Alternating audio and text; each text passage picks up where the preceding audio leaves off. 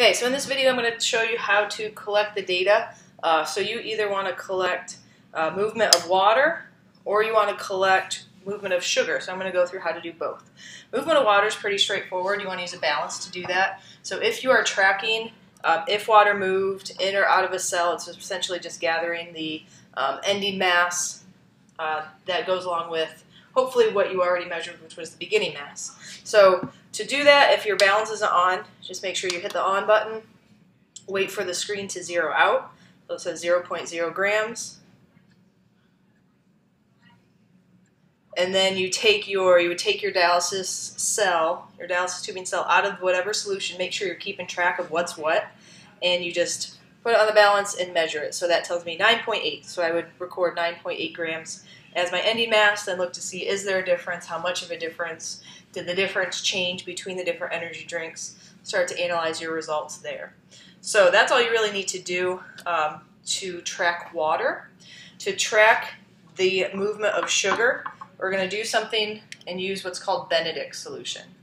So with Benedict solution, how it works is it essentially changes color in the presence of simple sugars. So we're tracking the movement of glucose. We're not necessarily tracking the movement of sucrose. So Benedict solution looks like this. It's blue. Um, and so if we look, when you apply heat to Benedict solution, it's going to change color if there's glucose present. So this chart kind of shows you that color key. So if it stays blue, that tells us no glucose is present. If it turns green, there's a little bit. If it turns kind of yellow or orange, there's a little bit more. And if it turns red, that means there's a lot of sugar. So we can still get an idea of relative amount, but not necessarily like numbers. So to do this, what we need to do is we have our dialysis tubing cells, and we need to transfer what's in the cell into a test tube.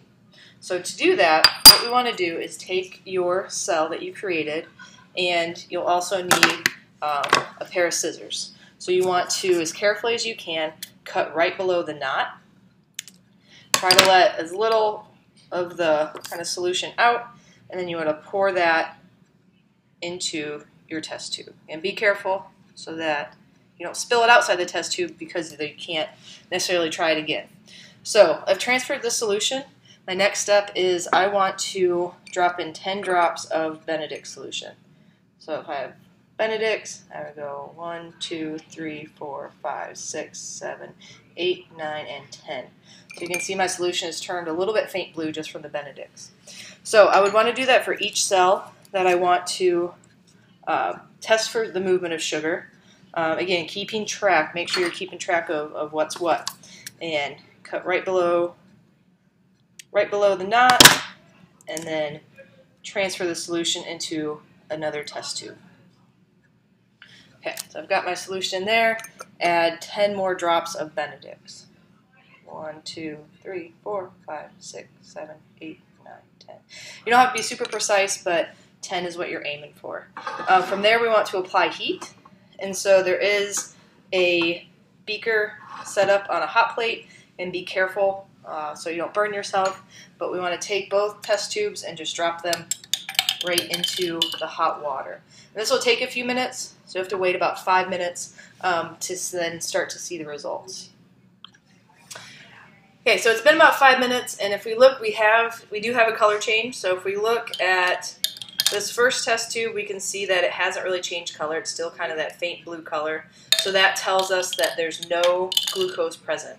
However, if we look at the other one, we see that it definitely did change color. It's that yellowish orange. So looking at our chart over here, it would fall in that kind of um, medium, I guess, amount of, of glucose present. So this would say if I had filled the cell with just water, put it in the energy drink, and then when I tested the solution inside the cell, and this is the color it turned, that would tell me that sugar moved um, into the cell. So that's the general procedure you want to follow for Benedict's. Just again, be careful with the hot plate. Uh, take your time. Do things well. Uh, for cleanup, you just want to dump the test tubes out in the sink, rinse them out, and then there are test tube trays. You want to turn those upside down so that they can dry. So make sure you're cleaning up all your materials, washing, drying, um, so it's good to go for the next class.